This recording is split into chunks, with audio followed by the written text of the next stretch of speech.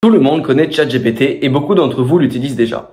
Dans cette vidéo, je vais vous donner 10 astuces ChatGPT que vous allez pouvoir utiliser. Restez bien jusqu'à la fin de la vidéo car elle va vous permettre d'augmenter votre productivité et de changer la manière dont vous utilisez ChatGPT. Juste avant de commencer, n'oubliez pas de vous abonner à notre chaîne YouTube, de mettre un like car l'objectif de cette vidéo est de 300 likes et aussi, si vous êtes intéressé par le domaine de l'intelligence artificielle, je vous encourage à récupérer votre accès à notre newsletter en cliquant sur le lien en description. J'imagine que vous savez déjà tous vous connecter à ChatGPT, donc nous allons directement commencer avec l'astuce numéro 1. Donc les premières astuces, nous allons parler plus précisément du prompt, et donc j'avais déjà fait une vidéo là-dessus, et donc si vous voulez aller la voir, il y aura le lien en description. Pour commencer, la première astuce, c'est de donner un rôle.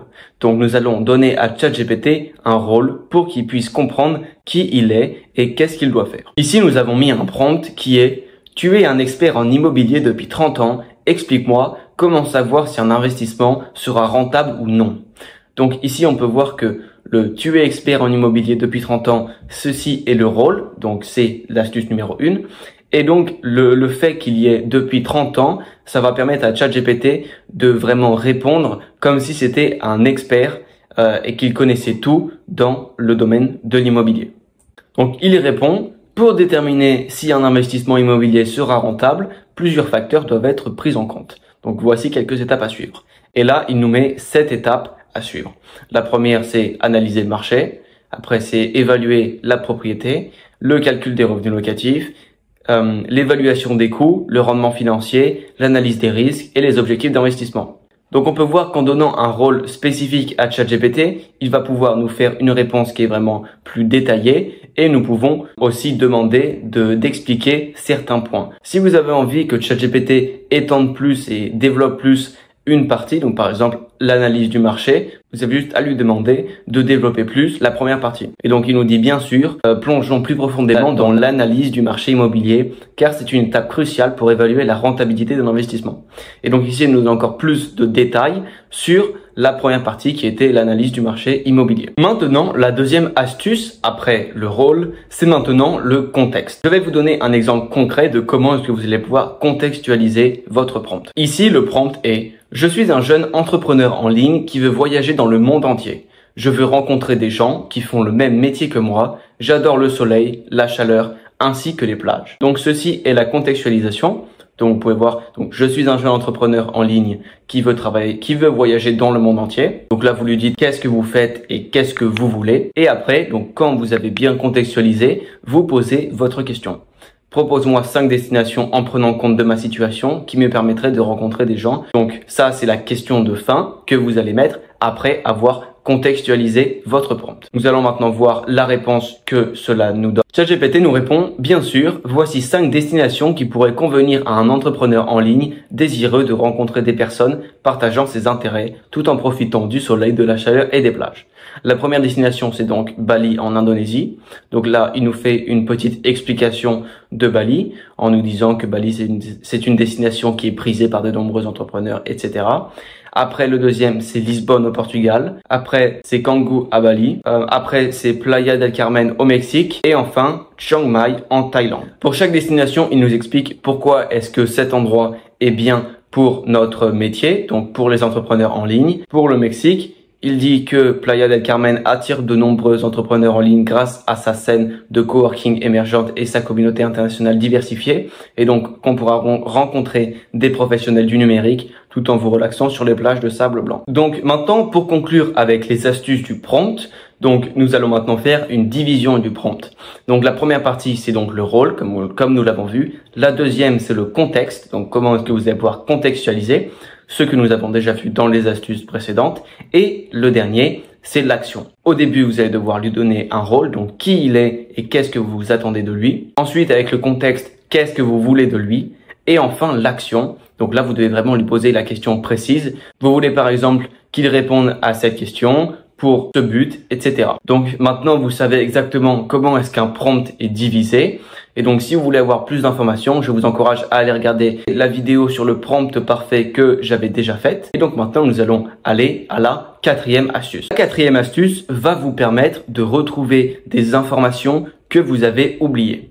Donc, laissez-moi clarifier tout cela. Imaginons que vous avez vu un film et que vous vous rappelez d'une scène, mais que vous ne pouvez pas vous rappeler du titre. Vous avez simplement besoin de décrire la scène que vous vous rappelez à ChatGPT et il va vous trouver le titre du film. Cela peut être pour les films, pour les livres, pour des informations que vous avez vues sur Internet.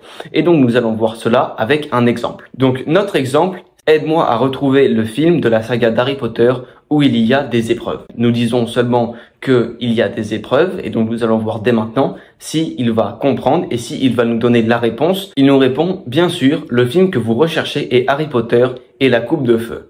C'est le quatrième film de la série Harry Potter où Harry participe au tournoi des trois sorciers et affronte diverses épreuves dangereuses. Donc ici, vous pouvez voir que nous lui avons demandé de retrouver le film de la saga d'Harry Potter où il y a des épreuves. Donc franchement, des épreuves, c'est vraiment très vague. Nous avons aucune indication, mais il arrive toujours à trouver le titre que nous cherchions. Cela peut être pour un livre que vous avez lu. Vous avez juste à résumer ce que vous vous rappelez et il va sûrement vous trouver le livre que vous avez lu. Maintenant, nous arrivons à la cinquième astuce. Donc maintenant, est-ce que vous saviez que vous pouviez faire des tableaux avec ChatGPT? Eh bien, si vous ne le saviez pas, cette vidéo va vous apprendre comment faire. Vous avez simplement à mettre un prompt de ce genre. Le prompt est créer un tableau qui reprend les 10 sports les plus populaires du monde. Le tableau doit avoir trois colonnes, donc avec le nom du sport, une courte description de ce sport et le nombre de personnes qui regardent. Ici, nous allons voir qu'est-ce que ChatGPT nous fait. Nous venons de mettre entrée et il nous répond, bien sûr, voici un tableau présentant les 10 sports les plus populaires du monde. Le premier sport le plus, le plus regardé, c'est le football. Donc là, il fait une petite description du football. Donc c'est un jeu d'équipe où les joueurs utilisent leurs pieds pour marquer des buts en faisant passer le ballon dans le but adverse. Il y a, et là, il y a 4 milliards de personnes qui regardent.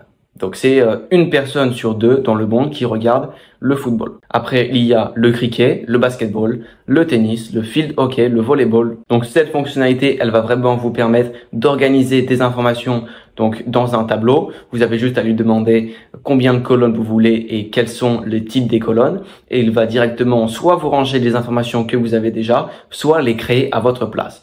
Ce qui va vous permettre de gagner beaucoup de temps et de faire un tableau vraiment de qualité. Maintenant, nous allons voir la sixième astuce. Donc la sixième astuce, c'est de numéroter les actions que vous allez lui demander. Nous allons voir directement qu'est-ce que ça va donner avec un exemple précis. Le prompt est j'ai une marque de chaussures, je veux que tu me donnes 1. Le nom, 2. Un slogan, 3. Une description et nous allons voir directement ce qu'il nous répond. Voilà, donc ici, il nous répond du coup point par point, donc comme nous lui avons demandé. Il répond, d'accord, voici une proposition pour ta marque de chaussures. Le nom de la marque, donc c'est éclat de pas, le slogan c'est élégance à chaque foulée, et la description c'est Éclat de pas incarne l'essence de l'élégance et du confort à chaque pas. Nos chaussures allient un design raffiné à une qualité exceptionnelle pour offrir à nos clients une expérience unique. Donc vous voyez vraiment que vous allez pouvoir créer n'importe quoi avec ChatGPT. En plus, si vous numérotez les actions que vous lui demandez, il va être encore plus précis car il va vous répondre point par point. Nous arrivons donc à la huitième astuce. Donc la huitième astuce, peut-être que vous ne la connaissez pas et c'est la fonction de continuer. Donc vous allez lui poser une question et elle va vous répondre en une liste et vous avez simplement à mettre continuer dans la barre de recherche et il va mettre de nouvelles idées. Ici, nous avons un prompt, donc un exemple. Donc, le prompt est donne-moi des idées de business avec l'IA. Ici, nous allons mettre entrée et nous allons voir ce qu'il nous répond. Donc ici, il nous dit, donc bien sûr, voici quelques idées de business centrées sur l'IA pour l'année 2024. Donc la première, c'est les solutions de santé personnalisées, donc développer des algorithmes d'IA, le recrutement basé sur l'IA, euh, l'automatisation des processus industriels, l'assistance virtuelle pour les services clientèle, la sécurité basée sur l'IA, l'agriculture et les précisions, la formation en ligne personnalisée, l'analyse prédictive des marchés financiers, le tourisme intelligent, les solutions d'automatisation des tâches domestiques. Donc nous pouvons voir que ce qu'il nous a donné, c'est ça a de la valeur et c'est de qualité. Et si nous voulons que cela continue, nous avons juste à mettre continue. Maintenant, nous mettons entrée et nous allons voir ce qu'il nous met. Ici, ici, il dit Bien sûr, voici quelques autres idées de business axées sur l'IA pour l'année 2024. Donc là, il dit l'assistance personnalisée virtuelle, la traduction automatique et la localisation, l'analyse des données, la gestion de la chaîne d'approvisionnement, l'analyse médicale, la personnalisation de l'e-commerce, etc. Mais vous voyez que vous avez simplement à mettre continue et il va vous générer de nouvelles idées avec le même prompt de départ. Donc c'est vraiment intéressant si vous avez besoin vraiment de 50 idées pour par exemple faire une vidéo sur YouTube ou trouver un nouveau produit, vous avez simplement à lui continue et il va le faire. Ici nous arrivons donc à la neuvième astuce. Donc le premier exemple est quelle est l'importance de l'intelligence artificielle dans le monde? Donc c'est une question qui est assez basique. Nous allons voir sa réponse. Donc là il nous fait une réponse qui est vraiment intéressante en disant que l'importance de l'intelligence artificielle dans le monde est difficile à surestimer. Donc elle impacte pratiquement tous les aspects de notre vie quotidienne. Ça va de la médecine à la finance en passant par l'industrie, les transports et le loisir. Donc là, il nous dit voici quelques points clés sur son importance avec les avancées technologiques, l'efficacité, la productivité, la précision, la qualité, l'innovation, la santé, l'économie, les défis éthiques et sociaux. Mais ce qui nous intéresse vraiment ici, c'est le fait, premièrement, que nous pouvons copier le texte. Donc vous avez juste à appuyer ici et il est directement copié. Et donc après, vous avez juste à le coller en faisant CTRL V sur un document, un Google Doc, etc. Mais vous pouvez aussi mettre que la réponse, elle était mauvaise ou bien. Mais ce qui nous intéresse vraiment, c'est le bouton régénérer. Vous avez simplement à appuyer dessus. Et donc ça, c'est la deuxième version qu'il est en train de créer. Ici, il nous donne d'autres euh, fonctionnalités, donc la transformation de l'industrie, l'amélioration des soins, etc.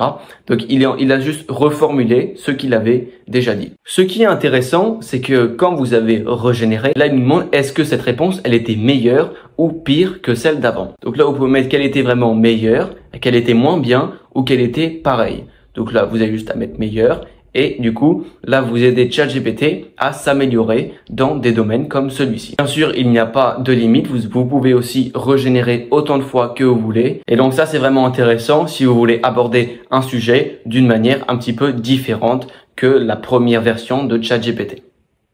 Et bien sûr, c'est toujours basé sur le même prompt. Et donc, du coup, c'est vraiment intéressant si vous avez donc utilisé les astuces au début de cette vidéo pour améliorer et pour perfectionner votre prompt. Maintenant, nous arrivons à la dernière astuce, la plus importante, qui est de parler avec ChatGPT.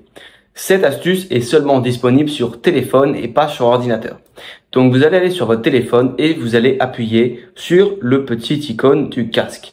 Et quand vous allez appuyer sur cette icône, vous allez pouvoir parler pour lui poser une question et il va vous répondre. Pourquoi faut-il utiliser l'intelligence artificielle dès maintenant?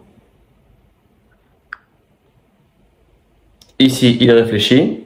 L'intelligence sociale est cruciale dès maintenant, car elle permet de comprendre et de gérer les interactions humaines de manière plus efficace ce qui est essentiel dans un monde de plus en plus interconnecté et axé sur les relations.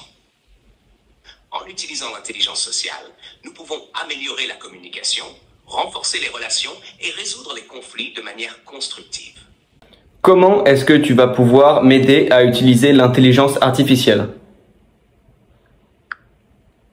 Là, il réfléchit. Je peux t'aider en te fournissant des informations sur les différentes applications de l'intelligence artificielle dans divers domaines, en te guidant sur les meilleures pratiques pour l'intégrer dans tes projets ou en te recommandant des ressources pour apprendre.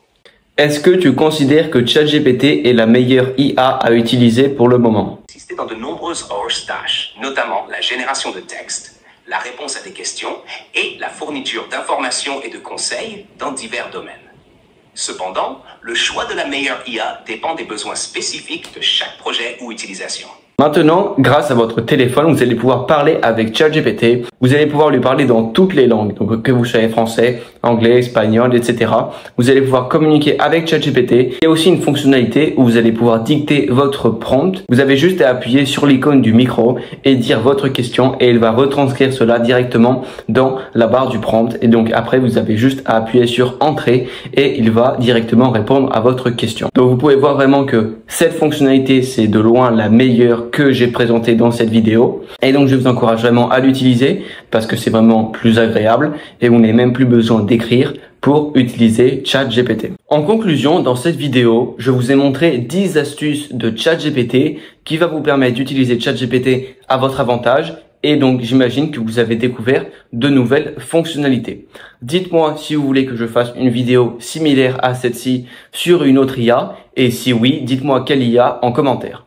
Donc j'espère vraiment que cette vidéo vous aura été utile, notamment grâce à la fonctionnalité donc de parler, de faire des tableaux, de faire des actions, de faire continuer, de retrouver des informations que vous aviez perdues, que ce soit pour un film, pour un livre, etc.